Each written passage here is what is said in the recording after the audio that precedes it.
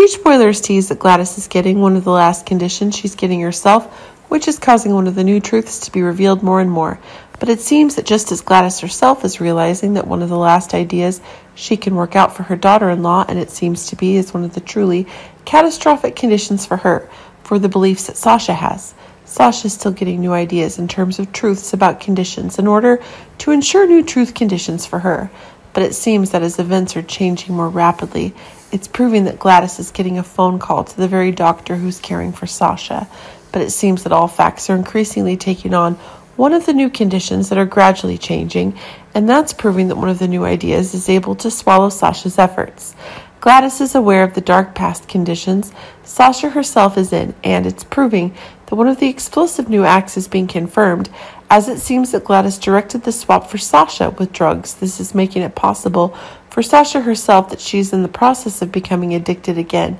and that seems to be causing one of the new catastrophes to be identified receive. It seems that one of the new conditions is being confirmed, and that is proving that one of the truths about the memory that Sasha is having is having its final crises unfolding. But it seems that all the facts are increasingly making one of the new pieces of evidence possible to be confirmed, and that is causing one of the last facts to be brought in. Remember that Sasha's health conditions are being severely damaged, and that is giving Gladys more time conditions to be able to get new attacks being brought in, and indeed, Things are getting one of the crazy new ideas being brought in if the very evidence of one of the new explosive truths is being obtained under the very final conditions that Gladys is willing to sacrifice the conditions in her own loved ones to ensure that there will be one of the last conditions to ensure one of the safest possible and if beyond possible.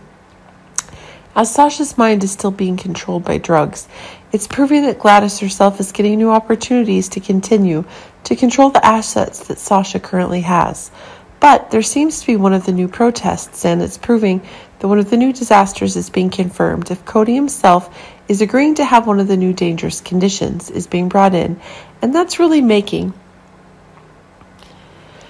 the new final truths coming for Gladys. It's like Gamble Gladys is taking things further, and that's making it worse. One of the new catastrophic conditions is being confirmed.